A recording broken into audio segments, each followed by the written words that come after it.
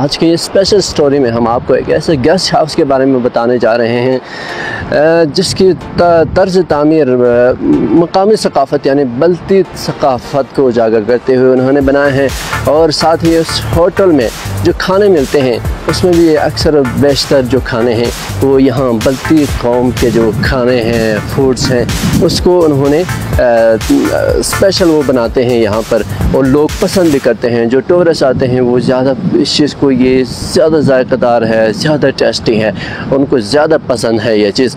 और इसके अलावा अगर हम इस होटल के, इस गेस्ट हाउस के लोकेशन के बारे में ज़रा आपको बता दें तो फिर एक तरफ़ पहाड़ है, दूसरी तरफ़ दरिया है, फिर पहाड़ है।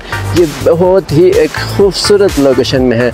इसके अलावा जो दुनिया के, दुनिया में जो मशहूर हुए हैं, जो सड़क गवाड़ी है ये ज़िला गांछे में आते हैं। स्कर्दों से तकरीबन सत्तर किलोमीटर के फासले पर ये वाक़ है।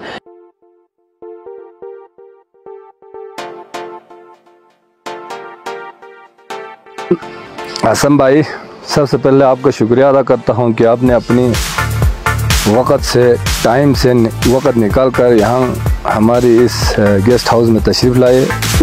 ये घर जो बनाया था हमारे वालिद के ज़माने में। तकरीबन पंद्रह बीस साल पहले। ऐसे ही पड़ा हुआ था। तो तो जहन में अचानक ख्याल आया कि क्यों ना इसको किसी कारोबारी मकासद के लिए इस्तेमाल किया जाए। तो इस सिलसिले में हमने इसको रिनोवेशन किया और स्ट्रक्चर को एज इट इज़ रखा। इसमें थोड़ा बहुत चेंजिंग करके हमने इसको एक गेस्ट हाउस की शक्ल दी। अल्हम्दुलिल्लाह, आज इसकी तर्ज तमीर को देख कर पाकिस्तान से बाहर से भी लोग आए हैं। उन्होंने इसको बहुत ही अप्रिशिएट किया, पसंद किया। उन्होंने यहाँ से बत्ती बले वगैरह पी कर इसको दोबारा पीने की ख्वाहिश की। और अंदरून मुल्क से भी, पंजाब से भी, कराची से भी लोग आके इसके तर्ज तमीर और इसके लोकेशन को बहुत ही ज़्यादा पसंद किया गया है। ये पहाड़ और ये देख के बस अल्लाह की कुदरत और ये कहते हैं कि सुबहान अल्लाह लोकेशन अच्छी है बहुत बहुत खूबसूरत है दरिया के किनारे। टूरिस्ट रिजॉर्ट जो बनाया है ये अच्छी एफर्ट है। अभी इसमें इम्प्रूवमेंट की काफ़ी गुंजाइश है इम्प्रूव होना चाहिए। इनकी आज बल्ती लस्सी ट्राई की है वो बहुत अच्छी है। ये और ये जगह बहुत खूबसूरत है। जितने भी हुकूमती ऑफिसर्स हैं एम एन एस हैं एम पी एस हैं वो भी यहाँ पर विज़िट करके गए हैं और इन्होंने इसको बहुत ही सराहा है। इसकी वजह यह है कि जो नए फ़ैशन सीमेंटेड चीज़ें हैं, वो डाउन एरिया में वो ख़ुद देखते रहते हैं। हमने अपनी बल्ती कल्चर को उजागर करने की कोशिश की थी, इसलिए वो लोग अभी पुराने तर्ज को देखने के लिए यहाँ तशरीफ़ लाते हैं।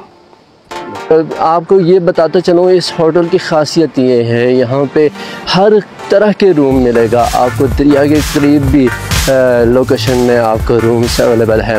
और इसके अलावा जो दरख्त के ऊपर उन्होंने एक खूबसूरत झुंपड़ी नुमा एक रूम बनाए हैं।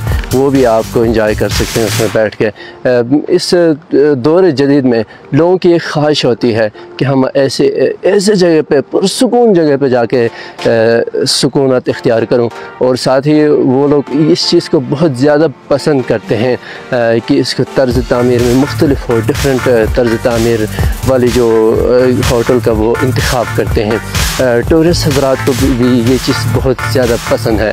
और इसके अलावा इस होटल की खासियत ये है यहाँ पे मुताले के लिए भी किताबें भी रखी हुई हैं। यहाँ के मकामी तर्ज तामीर में उन्होंने पार्क होटल के रूम्स और खाने और दीगर जितने भी चीज़ें हैं उन्होंने कोशिश की है कि बल्कि तर्ज तामीर में उन्होंने इस चीज़ को उजागर करूँ टूरिस्ट को दिखाऊँ लोगों को दिखाऊँ ताकि लोग इस चीज़ को देख के बहुत ज़्यादा खुश हों।